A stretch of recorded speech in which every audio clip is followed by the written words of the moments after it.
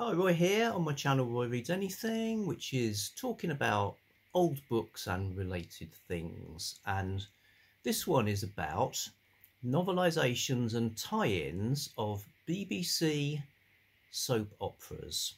So um, this came about because of a mistake I made. I misspoke in an earlier video when I was talking about uh, a pulp writer called Hugh Miller and how he'd gone on to write lots and lots of EastEnders, EastEnders books, and I casually said EastEnders was the BBC's first soap, which Jenny pointed out not during the video but afterwards it isn't true, and also it was in the comments as well.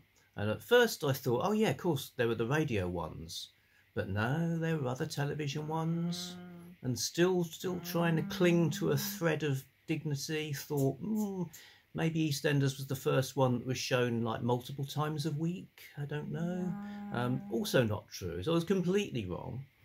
Um, but I became interested in what the earlier soaps were. Some I some I knew about, some I didn't, and looked into that. Particularly helpful was a article called "Soaps on the BBC," written by a guy called Dr. Anthony McNicholas, who is at Westminster University, and that's I'll, I'll link to it.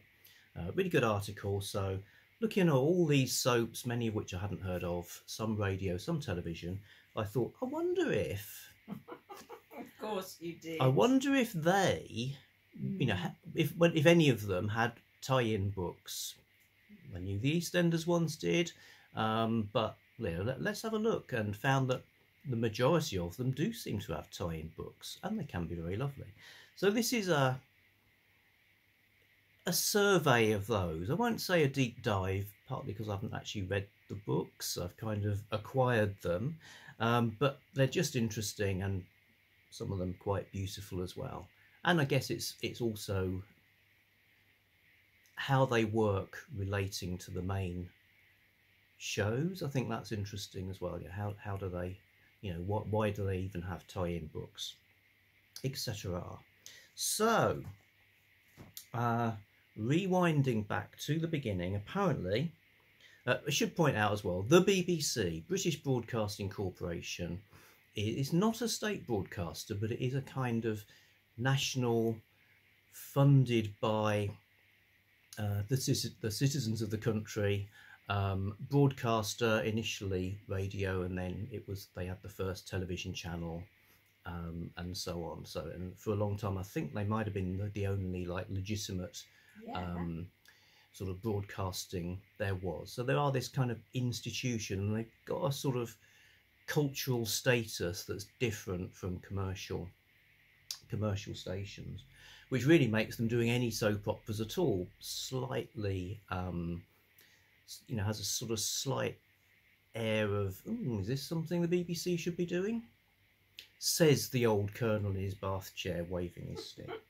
Um, so, the first soap ever created by the BBC in the article was called Frontline Family. Frontline Family, what a fantastic title.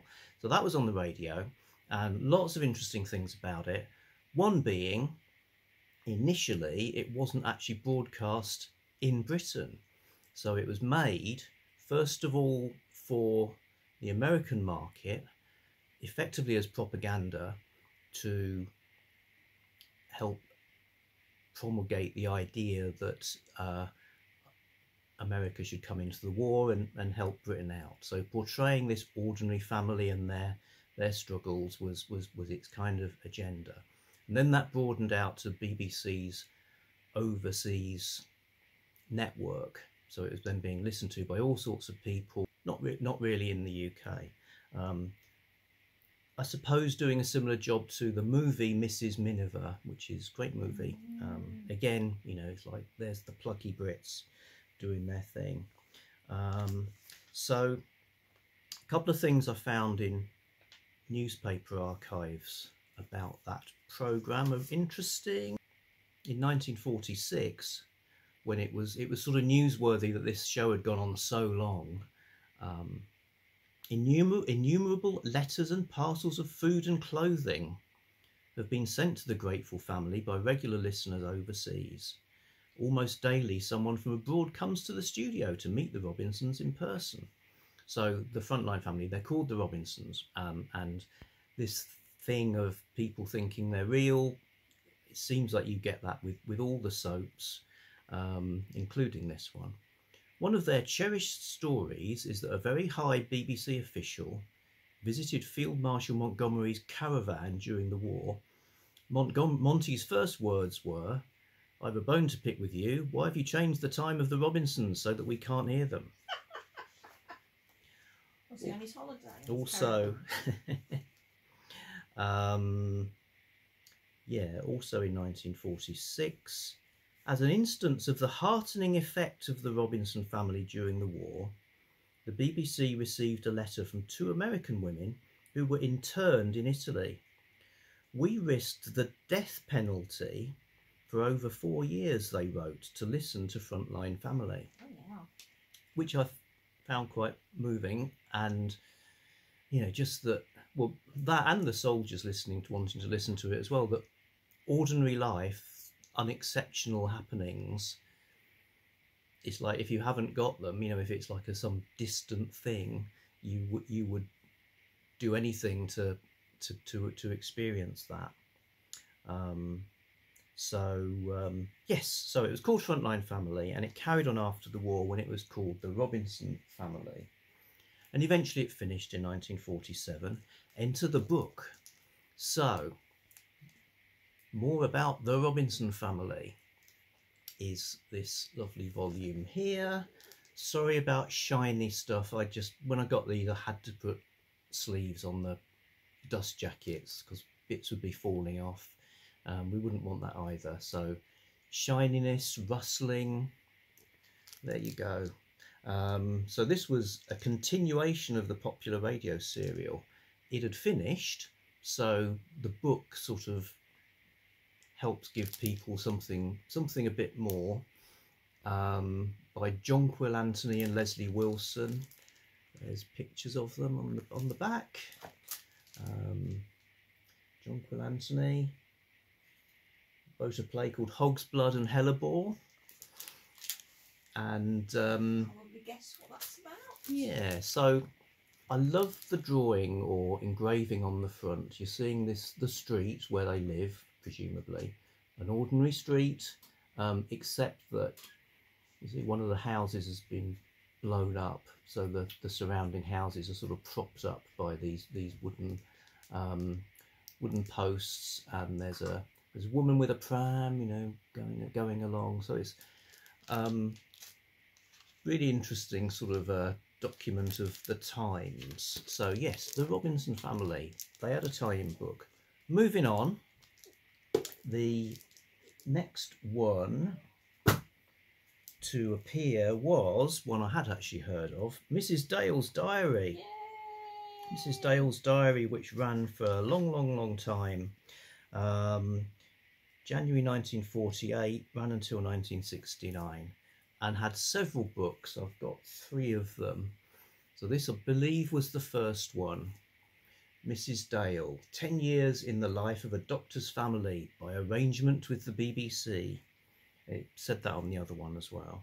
Uh, and I love the cover of this. Uh, um, but it's got a very modern style the way these these uh, the streets are drawn and these these these houses um, and a thing so soap operas ongoing stories of ordinary people now i've kind of defined them as being sort of people in general rather than something very specific like a like a, a series about you know the police or whatever um, so places are really important and often what the books are doing is giving you something you might not have got on the radio, which is a, a vision of what the place looks like. Which here it's done in sort of semi abstract form. Mrs. Dale, um, talking about 10 years. So, is it a novelisation? Quite difficult to novelise soaps because there's such a lot of, of them. You know, there's like thousands of episodes, loads of things happening. You probably wouldn't want to read a book that sort of just recounted like the substance of like two episodes. So this is sort of a an overview of a long period. that's one way of doing it. So we've had a continuation. We've had the kind of looking back. Given that she already writes a diary, this is like another diary. She's a diary. she's a diary. re-diarising it. Okay, and I've got uh, the Dales of Parkwood Hall is another another kind of novelisation. Um, whether one is an avid follower of the Dales or not, the Dales of Parkwood Hill, not Hall, makes fascinating, entertaining reading. One finds oneself saying, "Surely they must be real people." Nice little drawings. Um, not quite sure. I think this is another. Um, I see. Yeah. So this one focuses on different characters in the show, which is another approach. Is to rather than novelise particular things you've already heard on the radio, is to give you sort of extra stuff about particular characters. And then my favourite one, Mrs. Dale's bedside book, and it's Jonquil Anthony again. Um, there she is now with the dog. Um, uh, there's Mrs. Dale's actual signature. So the bedside book, it's a mixture of things. So it's organised by month, and for each month you get a some things like Mrs. Dale's favourite poems or poems that Jim likes that she's included um, little stories uh, that are sort of vignettes, interesting things she's cut out the newspaper, um, recipes, you know. So these are, hang on a sec, it's like extra reality stuff coming out of the characters. Um, so, you know, Mrs. Dale herself, that famous real person, has given us given us all this material and a and a really lovely illustration as well. So, and again, you, you, you get things like this a lot, as we shall see. Then we move on to the big dog, the Archers. So the Archers is a radio soap that has been going, still is still going. Uh, so began broadcasting in 1950. There's all sorts of amazing statistics about it. You know, there were people who performed in it for like 70 years. Um, and it started off uh, partly to achieve an agricultural kind of education uh, task. So, uh, famously commissioned, we want a farming Dick Barton. So, Dick Barton, popular railway, railway radio serial, uh, a thriller in 15 minute episodes, each one with a cliffhanger. Um, so let's have that, but about farming to help tell farmers cool stuff they need to know about agriculture. And that element has dropped away in favour of the uh, more character based stuff. Uh, they, they live in a fictional village called Ambridge, in I believe a fictional county called Borsetshire. Correct. Um, and again, Based on Worcestershire. sense of place. Okay so you get a, a big uh, a wraparound cover my favorite um, you, you get you know you can immerse yourself as a book owner in the in the place with this lovely drawing. Uh, the archers have brought to millions of listeners a feeling of real understanding and participation in english country life They have. Day by day, a multitude of old and young listen eagerly to the unfolding of the life of the people of Ambridge, a chronicle of hopes and ambitions, fears and disappointments, joys and sorrows, which are part of the fabric of life in the country. The spoken word passes away. So here is a per- permanent record written by the authors whose skill created these characters of dramatic and stirring events that for a time rocked the peace of Ambridge. So you're getting a sort of um, some highlights again. Can I sing the theme tune? Okay, now we have Dr. Jenny singing a theme tune. Dumpty dumpty dumpty dum dumpty dumpty dum dum dumpty dumpty dumpty dum dumpty diddly dum dumpty diddly. Then television starts. First TV soap opera, The Appleyards, children's program. So that's a uh, went went out once every two weeks from 1952 to 1957. They had at least two books. Here is one of them, The Appleyards Again, by David Edwards. David Edwards, who was in the show, I believe. Um, Ordinary Family's Life, that again, and I like the illustration. You've got cut out heads of the characters placed onto cartoon drawings. I like it so much I threw it on the ground. Um, so that was the Appleyards. Then you get the Grove family, 1954 to 1957, first television soap for adults on the BBC. Meet the Groves. Uh, again, so rather than place, you're seeing the people on the cover, again with the cut-out heads. Row of cut-out heads lined up on the spine. Um, nice shots on the cover. Again, the authors are also the creators of the show. This was a prize. Linda Holt, who got 406 out of 416 marks, chose this as her, her prize. Uh, the phenomenal success of the Grove family, with its weekly appeal to 10 million television viewers, Blimey. which would be high That's huge. even now, proves that the demand for stories of simple, everyday happenings is as strong, if not stronger, than the demand for crime fiction or romance. Um, so many new episodes in the life of this lovable family. So another approach, rather than sort of novelising anything that's happened, give folks some extra stories. Meet the Grove family. Bob Grove, dad to his children, a builder by trade, who believes that life and houses should be based on solid foundations, but he but be nonetheless jolly on that account. Dad is who makes the plans, but second heading, Gladys Grove, mum, carries them out with a warm-hearted efficiency and an infallible understanding of what goes on in the minds of their four children. Four children, each of which have a, their own subheading. Pat, trip dispenser. The firstborn is a romantic girl, more attractive than attracted, for she cannot decide to take the plunge with any of the suitors who try to persuade her.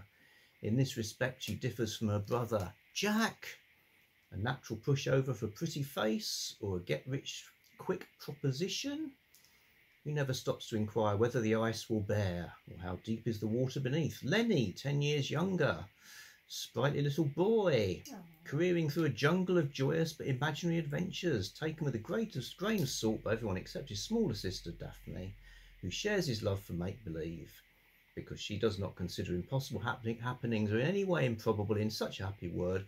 Finally, you're invited to meet Gran. I'm guessing this is Gran, who came for a week and stayed for good. Shrewd, bluntly outspoken, fearless and forthright, she is a warrior of the old school, still in the front line, fighting fit at 90. So, yes, the Grove family. Television. Uh, partly called that because BBC had studios at Lime Grove, and I believe it was filmed live. Oh, Um, so, um, Still, they used to do that in those days. they? that, yeah, A lot. al- almost. Um, yeah, I've even read a kind of an article in the press with, is it really television if it isn't live? Do we want them fobbing us off with these pre-recorded programs? then there's one that we doesn't seem to have had a book, Star and Company. Um, then we get Compact. Compact. Compact. So Compact, a soap that was about a uh, fashion, a fashion magazine. Compact, and that had books. It had three paperbacks at least. Well, I've found two of them. Here's the second one, Compact Two, by Janet Gray. cover. yeah, beautiful Oh, cover. The way they've used pure, pure color areas to make this zesty cover graphic is brilliant. Um, Compact, the BBC television series. So that was on Tuesdays and Thursdays. Hardly an exaggeration to say it's become a national institution. Numberless viewers cut all sorts of appointments in order to keep that famous 7:30 date. They don't want to miss any of the ups and downs of the magazine Compact or the problems of its staff. Um, and this does seem to have been a kind of retrospective novelisation, a kind of overview of that series, um, and which was written by Hazel Adair and Peter Ling. You get photo sections as well. They're very proud of a outside broadcast filmed episode in Southend, which pops up in all sorts of places. And I've read it was like national news that they'd actually done this. So there's press cuttings from all around the country about this Southend boat trip that the characters from Compact took. And um, tie-in single, Cleo Laine, jazz singer, was a guest star in the episode and produced a novelty Cockney single, which I challenge you to listen to the whole thing because I've not I've not managed more than about thirty seconds. So Jen, Jenny demands it comes off after about two It's seconds. just so But- dreadful. South End by Cleo Laine. Anyway, yes, so that had that book, Compact 3, also by Icon Books. Now I can barely open this one because it's so crumbly. Um, but again, lovely graphics. Um, talking about 10 million viewers again. Icon Books. Um, other fiction titles in this series. Obviously, they mean the imprint of the paperbacks as the series. Let's imagine they mean the other fiction titles are related to Compact. One of them, Stranger on the Shore, as per previous video, is a novelisation, is not a soap, um, but could could it exist in the same universe? Um, the um, the teenage girl in the in the family where the au pair is working in Stranger on the Shore Compact would be the kind of magazine she would read, or possibly the competitor magazine to Compact that is called Lady Fair. So, other title in the series, Stranger on the Shore. Um, then, also headed other fiction titles in this series, Ayesha, The Return of She. so, H. Rider Haggard's Undying She Who Must Be Obeyed could possibly exist in the same universe as Compact. It would actually be quite good. You can imagine her owning a fashion fashion magazine can, yeah. um, in her eternalness and Yeah. beauty. In fact, who bet who better to front up a fashion Who fashion magazine? indeed? Uh, so Compact. Another thing Compact had, that most British of things, an annual, a hardback annual. Anything that was popular or that somebody wanted to be popular with younger people, get one of these. Hardback annual, out in time for Christmas. And um, this one's lovely. Uh, again, you get the, the cutout cutout heads. You get fiction stories. Um, the first one actually is one of the characters um, on holiday, so it's bizarrely illustrated by pieces of diving equipment. Um, lots of behind the scenes stuff. Interesting intro where the, um, the guy forward comparing it to the old film serials um, where you know you'd get the sort of cliffhangers on things like Perils of Pauline. Um, also um, relates the the ancient folk art, the ancient craft of storytelling. So setting the bar quite high. Um, you get lots of stories. Again, these these strange cutout graphics and recipes. So a bit like Mrs. Dale, you can you can all of your senses can be in the world of Compact because you can not only watch it, you could also make meals that characters are fond of.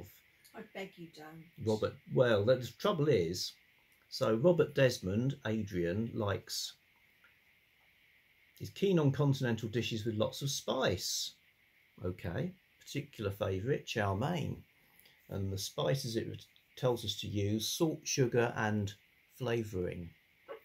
We're pretty much on our own. Or there's this other guy who likes his medallions, medallions of veal Janus. Okay, compact. Um, not many left. The newcomers. I wish that did have a um, a book because that sounds really interesting. That was a television one. Um, Londoners moved to a new town out in the countryside. Fantastic idea, but didn't seem to get a book. A radio one called Waggoner's Walk did. This was on Radio 2, so that's on a sort of more popular station. Uh, again, lasted quite a long time. Okay, so Waggoner's that's Walk. I never listened to Waggoner's Walk. I actually thought it was about a guy called Wagoner who walks to places. well, that would be quite a good way. He, he walks over. Oh, Hello, Mrs. Smith. I've just walked over here to find out what's going on. But no, Waggoner's Walk again. It's a place. It's a street. Um, It is. With a long history and again that's another thing you know the pseudo histories of places you, you you get built into these. And this is another one that came out after the show had finished. So gone is the respect respectful by arrangement with the bbc now you get when the bbc brought this phenomenally successful radio serial to a sudden end Thousands of faithful listeners thought they would never know whether Sophie Richmond accepted George Underdown's proposal of marriage, etc., etc. So now the story continues. So, uh, hardcore fans, get your fix of Waggoner's Walk. Which brings us right up to date with EastEnders, who, as well as those uh, Hugh Miller books, also had annuals. And I th- actually think they still get these now. Um, so, this was mid 80s. Um, starts with a rather wistful watercolour painting of Albert Square and um, all the usual annual stuff, including, of course, the obligatory recipes. So you can, you know, as well as pin ups of characters like Mary the Punk, um, you get, uh, you could have, uh, yeah, gefilte fish as, as cooked by Dr. Legg, for example. So that is my penance for misspeaking about BBC soap operas, an overview of all of their tie-in books. Um, I particularly like the. I like a lot of them. I really like the compact stuff, um, and um, Mrs. Dale. Mrs. Dale is very is very comforting as well. I could imagine reading segments of Mrs. Dale um, as intended, uh, as, as as bedside reading. Okay, wrap it up. Long one this. Um, finishing with random sentence from a sword and sorcery book. Perhaps before continuing with this chronicle of the bloody years, it might be well were I to give an account of myself and the reason why I traverse the Pictish wilderness by night and alone. Back Words soon with something else.